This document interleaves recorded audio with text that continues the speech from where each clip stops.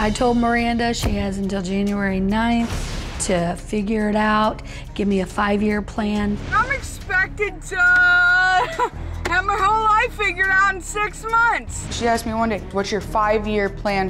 Hopefully to be alive. I don't know. I gave Miranda an ultimatum because I want her to change and I want her to believe me that I'm gonna throw her out in hopes that something's gonna click in her mind. I don't think she's gonna throw me out. She's all talk and no game. Miranda knows that I don't mean anything I say. I cannot let Miranda live on the street. Miranda says her mother is a controlling nag, but Kathy says, look, she just says she has no choice because her 22 year old daughter is living in her home with no driver's license and no job. Miranda's drinking is affecting her jobs. I lost the nursing assistant job because I was working first shift. I had been out partying drinking a lot. She was released from that job because she was hungover and she couldn't make it to work. You forced me to work first shift when you know I'm a second and third shift person, but that worked out with your schedule. I suggested that Miranda work the first shift. I thought she would be more responsible. I remember telling her, this isn't gonna work out. I think even if Miranda had an evening job, she would lose it. I know she would. After Miranda lost her job, she got another job as a lifeguard. I received a phone call from the people at the pool. They said Miranda has been found asleep at her post. Can you come and get her? This is where I used to work.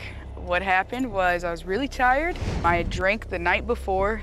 That's kind of a key factor in there. I was sitting on stand. I had my tube. I had these sunglasses on. Was like, man, I'm just gonna close my eyes for two minutes. It looked like I was awake, but I was asleep. Somebody told my boss, hey, I think that lifeguard's asleep, man. Yeah, I lost my job because I fell asleep on stand. The company that Miranda was lifeguarding for told her to never come back again. So now Miranda has two DUIs. She's been fired from two jobs. She's living at home with mom and dad. I am not currently working at the moment. No, I'm not.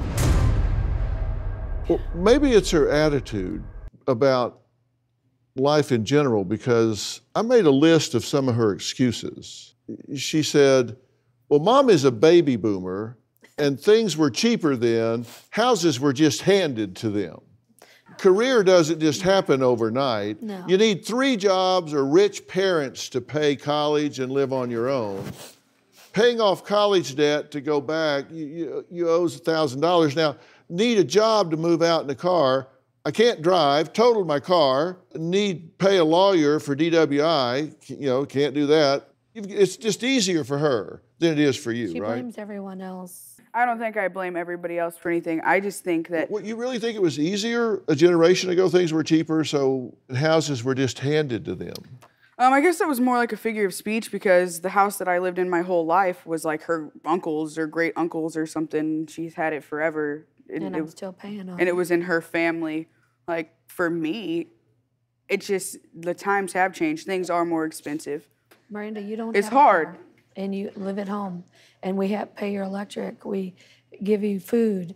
I mean, But you're my parents. I mean, I'm sorry. I didn't know you, I wasn't supposed to eat food at my house. I mean, Miranda's disrespectful at the house. She is destroyed. She pay, spray painted my roses. I'm just wondering if you're just being a victim.